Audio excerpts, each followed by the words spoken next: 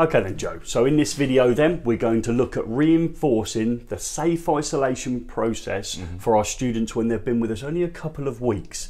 So does that mean Joe will be getting out the voltage indicators, the proving units and our GS38 test probes? Once again, this video is aimed at learners. As you've mentioned, it's aimed at early stage learners. So what we don't want to do is immediately have learners connecting to what could be potentially live parts if something's gone wrong with the safe isolation process. So what we're going to be demonstrating in this video is how we could possibly involve the use of a voltage indicator plugin type yep. uh, in order to prove safe isolation.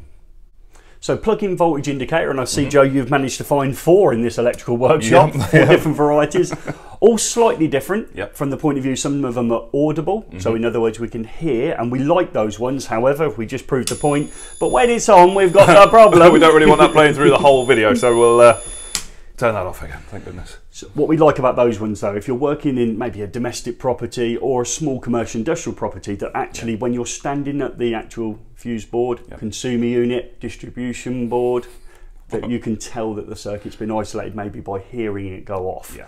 For this demonstration, we're going to use one of our plug-in voltage indicators that only have the lamps, and yep. we can instantly see a little bit of a change there between this one, which has three. Three lamps illuminated. And this one has two. Yes. But in both cases, it suggests that it's a good voltage indicator. Yep.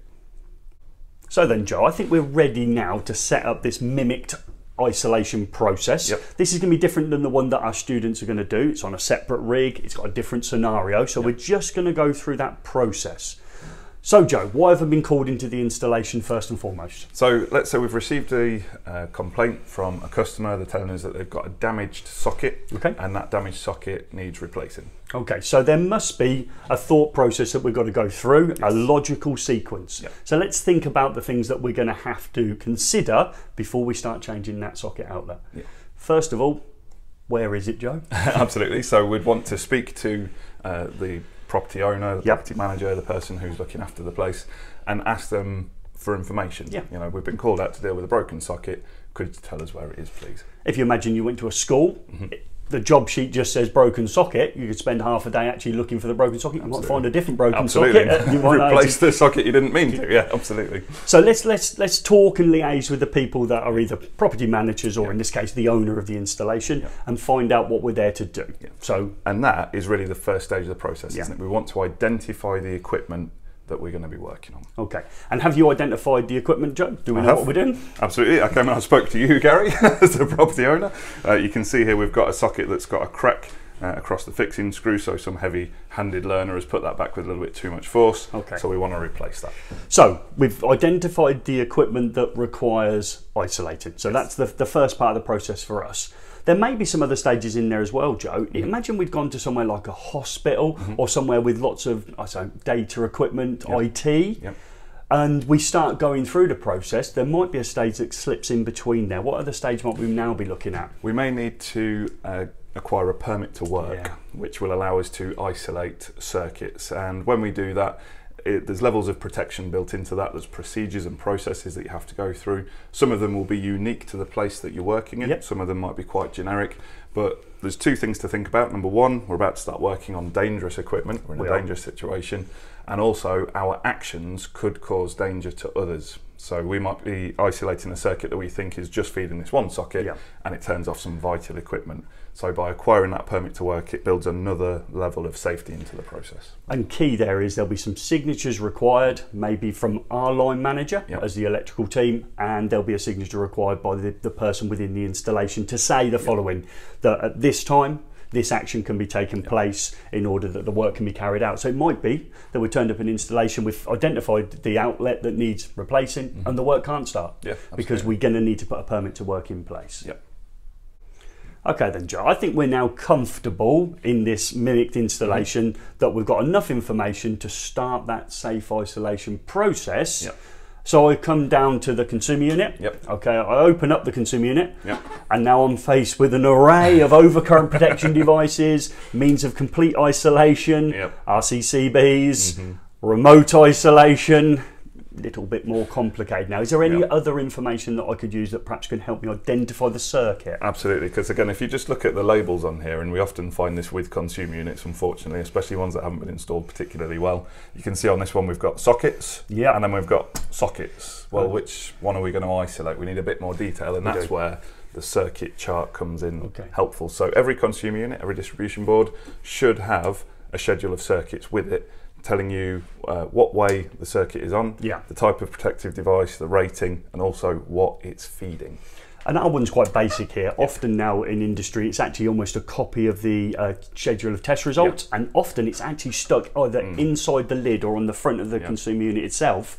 That's fantastic. Mm-hmm. It might even give you readings that you've done when you've been carrying out the test as well, Yeah. which is brilliant. We've got a, a more basic version here at College Joe. So we've got on laminated paper, we've got a breakdown of what we believe are the circuits, Yep. but of course we've got to take everything with a little bit of a pinch of salt. Yep. So we've gone down from, and we're starting this side working through. Yep. It's suggesting we go garage, and then we've got a radial socket circuit. Then we've got a lighting circuit. Yep. We've got a breaker here, but this breaker has nothing in it, and the box says NA. So actually, that looks like a circuit may have been removed. Yeah, okay. We've got a couple of spare ways, which makes logical sense. Mm-hmm. And then we've got um, next circuit down, we've got a cooker circuit. And again, there's a little picture there suggesting Mm-hmm. that could be a cooker, might not be, but it's suggesting it is. Followed by a ring final circuit. Okay, so we've got two socket circuits, Joe. Yep. One's a ring, one's a radial. Yep. On the chart as well, it said that the radial socket circuit had three points Yes. and the ring final circuit has seven. This might be another conversation with the client. Absolutely, yeah. It's very likely that when you speak to maybe the property manager or the homeowner, they might give you some more key information. Yeah. They're the ones who likely know more about the installation than anyone, so that's something to bear in mind as a valuable source of information as well. So we're at a stage now where we're looking to isolate. There's, Yep. there's other ways we could isolate, We could we could turn off here. We've got a, a linked main switch or a double pole switch in the towers itself, Yep. which I believe if we isolate that would turn off the entire installation. Yep. I would imagine for anyone using the Wi-Fi, maybe a little bit of a concern. Or indeed the lights. Absolutely. We'll yeah. go with Wi-Fi. And we've got the similar switch here, linked Yep. main switch or double pole switch within the consumer unit. Again, if I pulled that switch, we isolate the whole installation, and Mm-hmm. that might be acceptable. That might be the best way forward. But we're going to ask our learners to identify the circuit and isolate only the one circuit, Yeah, Joe. absolutely. So we're probably between a couple of things here. Yeah, we spoke to the person within the property, Mm-hmm. and they're suggesting three sockets, as the thing says, are on a radial circuit, and the rest are on a ring final circuit. We've got a lot of sockets there, Joe. Yep. Absolutely. Okay, so we're going to be perhaps hoping that we choose the right one, but remembering that there is a chance that we don't. Yeah, absolutely. And also, there are pieces of equipment you can buy that can help you to identify the circuit as well. You can get uh, plug-in tracers Yeah. that you can connect up to a circuit, and then you scan with another device along the board, and it will kind of alert you when you get to the correct Yeah. breaker. So there's other options available to help with this identification process. But not this college. Not at this college, no, not yet. Anyway. So, discussing with the actual owner of the property, we're suggesting that these three socket outlets here, these three points, Mm-hmm. Yep. are actually fed from the 20 amp breaker Yep. and a part of the radial circuit. And then we've got seven points here. Yep. Okay, is that seven? Yeah, we've got seven, seven points here. And those are suggested to be on the ring final circuit, and that's going to be fused at 32 amps. Mm-hmm. So we're looking for the socket circuit, we're looking for a 32 amp type B breaker, Yeah. but we're still going to go in with a view that it could be the wrong breaker, and everybody's been informed within the installation that the power may go off. Yeah, absolutely. So then, Joe, we're ready. Whack off the breaker. Let's change the socket. Let's get out of here. As always, I love your enthusiasm, Gaz, and of course, we want to get the job done, but we want to get the job done safely. Okay. So, before we get involved in that process, we've got to make sure that our equipment that we're going to use to prove the circuit has been isolated is working properly. Okay, so we're going to use our plug-in voltage indicator. And what we're going to do with the plug-in voltage indicator is actually prove it on what we call a known supply. We're not going to prove it on the circuit we're looking to isolate. Mm-hmm. We're going to use a different circuit. So it requires me to take this and Yeah. plug it into a circuit that is live and we know is live in order to prove it works. Yeah. I'll do that next. Let's do it. So I've come away from the test rig where me and Joe are working, the circuit that we're looking to safely isolate, and I've come to a known supply. In other words, a circuit other than the one we're looking to isolate that is live in order to prove my voltage indicator. So when I plug in this one, we should see two green lamps illuminate, and we've got the two green lamps there. And as I take it back out, We can confirm that this is working on a supply other than the one we're looking to isolate. So we can go back upstairs now and use it as part of our isolation process. Okay then guys, so you've been to our known source, Yep. you've plugged that in, you've proven that our voltage indicator is operating correctly, agreed? Agreed. Fantastic. So what we're going to do now is plug it into our circuit while the circuit is still live, Okay. to make sure that the circuit is on. So if you could do that for us now, please. There we go. So we're on the exact piece of equipment we're going to be working on. We've got it plugged in, we've got the two lights, so we know the circuit is now live. So what's the next stage, Gary? The next stage is we've actually walked out into the installation. This is where we've got to use our imagination to a certain degree because we're now going to be walking away and back to the consumer unit. So we're not going to know what's going on with this socket outlet when we're standing at the consumer unit. Yeah. We're going to select the appropriate overcurrent protection device, Mm-hmm. even if it's wrong. We won't know that because we won't know what's Yeah. happening in the install and we haven't got the one with the noise going on. Yeah, yeah. Okay. So we're going to choose the, the breaker we believe is correct. Yep. We're going to disconnect the circuit supply to it. We're mm-hmm. going to lock it off. We're going to put a sign on it, Joe. Yep. And then we're going to walk back into the installation. Yep. We might find we got the wrong one. Absolutely, yes. Again, you can't be too careful when it comes to isolating from the supply. So then, Joe, we're at the consumer unit, and there's some special bits of kit that we're going to need at this end. And we all like kit, don't we, in the electrical industry? Can you show us what we're going to use? Yeah, so the first device that we're going to be using is this locking device here. So we'll demonstrate exactly how this works in a moment, but this is the piece of equipment that is going to prevent the circuit breaker from being switched back on again. Fantastic. However, we want to take extra precautions because even though we've turned it off, someone might turn it back on. Even though we've installed this device to prevent it being re-energized, someone might remove that. So once we've got that installed, we then also need to make sure that we padlock our device to make sure that no one can come along and either maliciously or accidentally re-energize that circuit that you're working on. Is there any visual clues that we're actually making an isolation here, Joe, as well? Absolutely. So on the padlock, uh, it says here danger, locked out, do not remove. But we've also got to think about having some signage as well. So this here is a sign to indicate that the equipment has been deliberately turned off, it has been deliberately locked off because there is someone working on it and to re-energize this circuit would be extremely dangerous. And on the back side of here you can actually see we've also got some information that we can add on there to say when the work is being done, who's doing it, and any other information that might be required. Thank you, Joe. So we've pulled the camera back, Joe, so we can see the next part of the process. Can you just talk us through what we're doing next? Absolutely. So we're going to fit our locking device. That's the next thing to do. So we believe that this uh, is the correct circuit. So we're going to isolate this circuit now. We're going to turn that off. We have no idea what's happened in the installation. So do we nip out now and have a look at the voltage indicator to prove that it's gone off? No, we don't. The reason for that, we might be quite a long way away from the consumer unit. While we're away trying to check our voltage indicator, someone might go, oh, that circuit's tripped off again, as it always does, which might be the reason we're there, and come and re-energize this. So if we knock the circuit off, we isolate the circuit straight away. Okay, and we secure that isolation by the device that you're fitting next. Absolutely. So I'm going to put my locking device in here. So there's loads of different variants of this available on the market. Uh, this one is a plunger type, and you'll notice it's got these little forks on the end of it, and there's actually little holes inside the circuit breaker that are designed to accommodate those. And when those are pushed in and the plunger is released, what happens is that uh, circuit breaker then cannot be re-energized. Those little metal bars are uh, preventing that from being turned back on again. So we're ready to rush out now into the electrical installations. And, oh, there's some more stuff. Not stuff. quite yet. Not quite yet. The next thing we need to do is to lock the device off. But before we lock that off, we'd like to just introduce this little bit of kit, the master lock here. Yeah. Now you'll notice uh, we've got here a sort of a almost like a pincer type action going on. And the reason that this is very useful is there might be several people who are working on this circuit at a time. It might be a requirement of the permit to work that more than one person has control over when that circuit's re-energized. Oh, I like that, Joe. So that goes on next. Yep, so we And- put that onto there like that. And we've got the ability, by looks things, to have six people in control of the isolation Absolutely, yeah. process. So we could just put one padlock through here Yeah. and it can't be reopened. We could put up to six padlocks through here and it can't be reopened, which means that not only the people working on it, there might be two or three people working on a circuit, but also there might be a position for perhaps uh, a site manager, a site supervisor to also have a device on there so that they're happy to re-energize when the circuit is safe. I like that. So we're probably now ready for our padlock and sign to go on next. Is that right? Absolutely, yeah.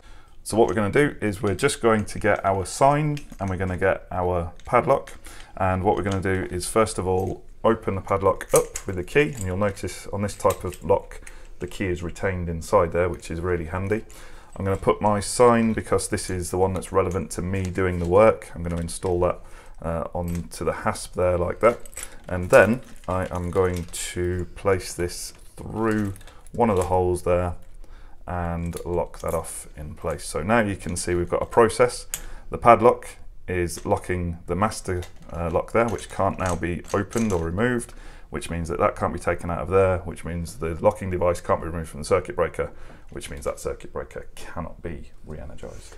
Fantastic, Joe. So just pop the key now on top of the consumer unit and we can nip out into that installation and start the isolation. Well, of course, if we were to do that, there would be some serious risks associated with that. Someone could come along and undo the padlock and re-energize the circuit when you don't want them to.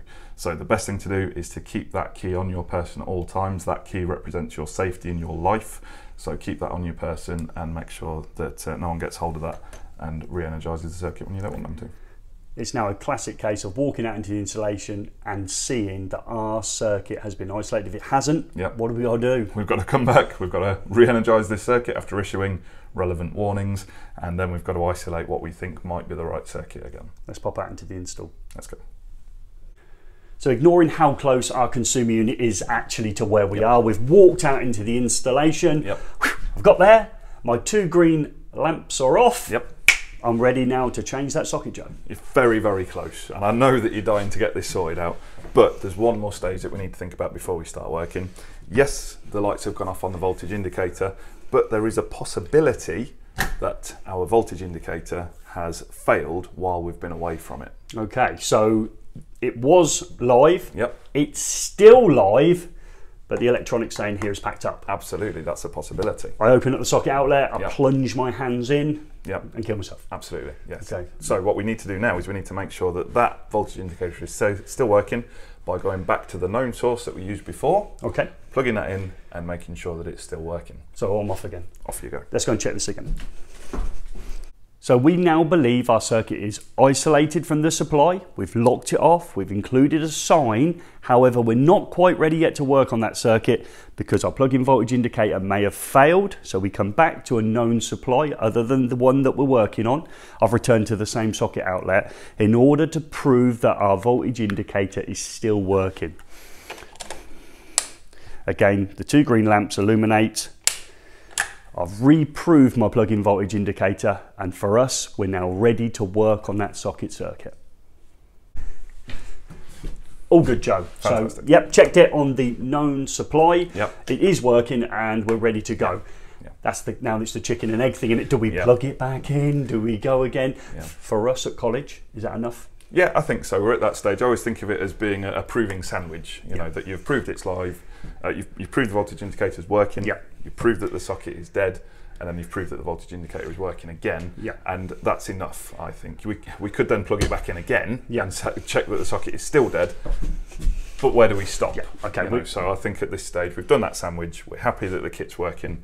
We're happy that it's isolated. And remember, our learners have only been with us probably three weeks as we do this. Our electrical knowledge is, is quite limited. Yeah. I can see you've got some other kit in your hand. Yep. There'll be a cry out there now that even though we've done that, that Yep. maybe when we peel off the front itself, that we Yep. go on and, and prove again. Absolutely. And again, you've got to make sure that you're safe and that the people that you're working with are safe. That is your responsibility. This video is aimed purely at week two, three learners uh, of an electrical course. So we think that the risk is greater now for them to start Yeah. poking around in the back of a Yeah. socket with voltage indicator equipment like this. So We won't be doing we think that this is the safest way of proving safe isolation for a very early stage electrical learner. Yeah. So I think we've gone through the process. I think it's that time, Joe. Yeah, shall we do it? Shall we do it? Let's do it. We, We hope, hope this video has been some help.